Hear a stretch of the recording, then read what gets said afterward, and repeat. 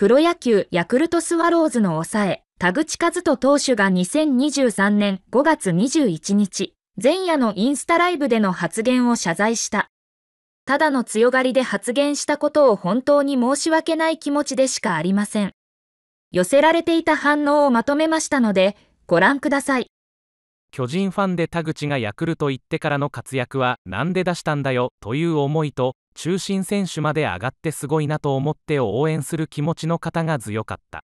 アンチが田口個人に向けてなのか横浜ファンなのかはわからないけど横浜ファンが怒るのは無理ないくらいヤクルト投手陣が当てすぎてた。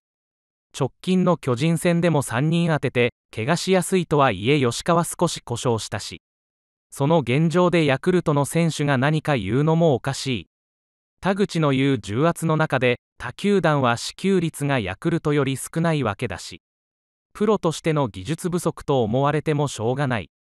いろんな職業のプロや裏方がいて生活が豊かになるんだからプロ野球選手だけが特別だと思ってアンチ含め他の人を見下してるのも勘違い。少なくともシーズン中はこんなインスタライブとかやらない方がいいんじゃないの？確かに、誹謗中傷も多いし、メディアの行き過ぎた追及も多くて、特に有名人は大変だとは思うけど、今回の田口のように自業自得の面も多い。それに、こうして謝罪や釈明に時間を割く分、精神的にも負担になると思うんだけど、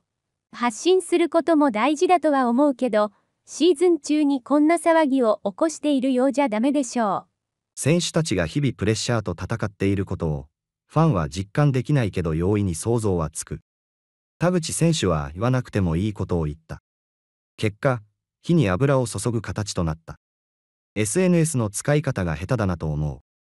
田口投手に限らず、プロ野球選手をはじめ、アスリートの皆さんが SNS であれこれと揶揄されることは多々あったと思います。最近では球団や所属チームが法的な措置を取ることさえあるほど。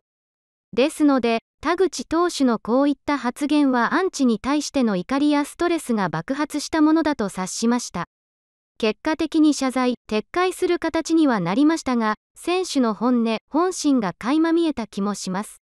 言いたいことと言うべきことを分別すればよかったのでしょうが、ライブですからうっせきしていたものが少しずつエスカレートしたのでしょうね。